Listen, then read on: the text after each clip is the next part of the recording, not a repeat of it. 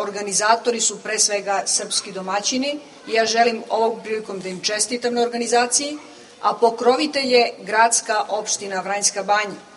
Gradska opština Vranjska banja ove godine je pokazala izuzetnu odgovornost prema svim kulturnim manifestacijama,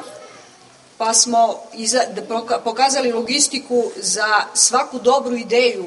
koja je došla ove godine prema gradskoj opštini, pa smo u okviru toga organizovali ovo deće kulturno leto.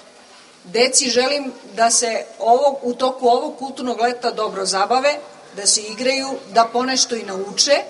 i nadam se da će od sad svake godine ovo deće kulturno biti, leto biti tradicionalno Mališani su potom imali i čas ekologije, a u dvorištu crkve Svetog Ilije u Vrajinskoj banji posadili su jelke.